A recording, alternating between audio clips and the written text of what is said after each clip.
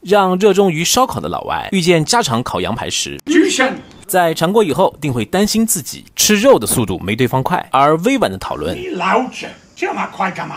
天下无国，唯快不破。今天玩游戏输给了邻居，所以答应他用他买的羊排做个饭。我提议喊物业大爷一起吃，他不想 lose，不寒。想想物业大爷天天用监控蹭百家饭，我担心他会发现。于是邻居拿着两片吐司去找物业大爷，我表示这样太不厚道，两片不够，四片才行。厚道。物业大爷果然中计，你们有事瞒着我。瞎说话！我们回他：“你这么聪明，谁敢忽悠你？”这是实话。之后，我邀请邻居在我家吃个饭。腌肉、洋葱不能少，生抽、料酒放两勺，蚝油、烧烤料孜然各一勺，放点盐，静置两小时，味更好。准备好后，用炭烧烤做成的这道看似独门一绝，但你做也一样的家常版烤羊排。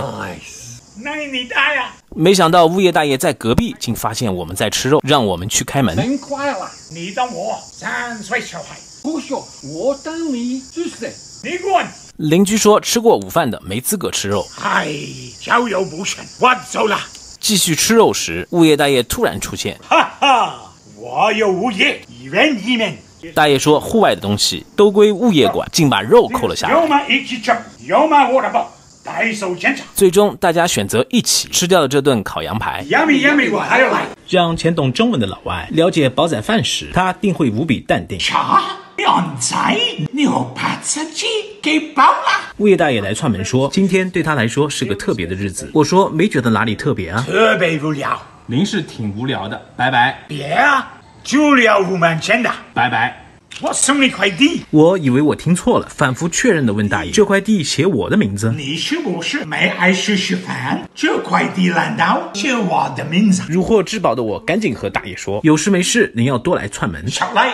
刚才上起来门都没有。我说大爷您误会了，刚才风太大，把门刮关上了。这门由风不由我。嗯，理解。就像我了，饥饿感，随位不随我。眼瞅着蹭饭从暗示变成了明示，我说干个饭吧。我靠，俺这是饭真好。做饭前，大爷让我翻译一下里面的中文。我一看，原来是国内很多人在用的骑士卡。回国超市买东西八八折，每次省好几十；网购一折起，开车加油七折。支付宝搜索骑士卡，免费领一张。领一张，你快快哦。水浸泡后的大米放入锅中，点油搅拌，煮开后小火焖饭。水快干时，加腊肠，打鸡蛋，点点姜丝，再焖饭。开调底蕴酱汁来配饭。清水、蚝油、糖一勺，生抽、鱼露各半勺，拌一拌。饭焖熟后，酱汁淋进饭，做成的这道。看似无懈可击，但你做也一样的煲仔饭。Nice。吃完后，大爷到物业拿来了一个箱子。快递先收吧。是快递啊？你真的要还是吃饭呢？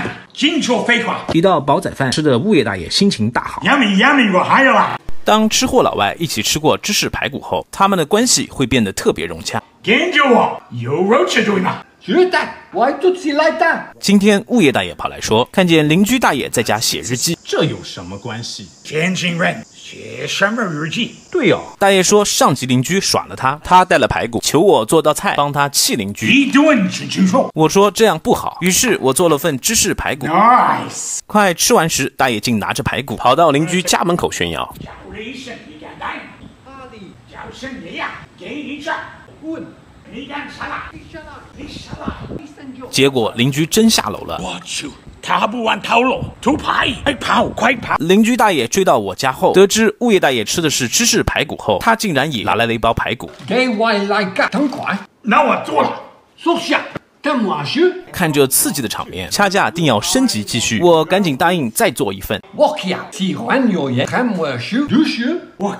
锅中加排骨，再放姜片、桂皮、料酒、八角、香叶，焯水锁香。姜蒜、洋葱、苹果打成泥后，韩式辣酱、糖、蜂蜜、香油各一勺，生抽两勺，引出酱香。放酱腌排骨，再用小火煎排骨，再放适量水，中火收汁成香。再配上莫扎里拉芝士后，做成了这道看似惊鸿一瞥，但你做也一样的芝士排骨。Nice，那着火了，下呀也没来着。为了吃肉，物业大爷想到送邻居一本日记本，并表态他和邻居是同一种人。我也。写日记，朋友，朋友，终于吃上了肉。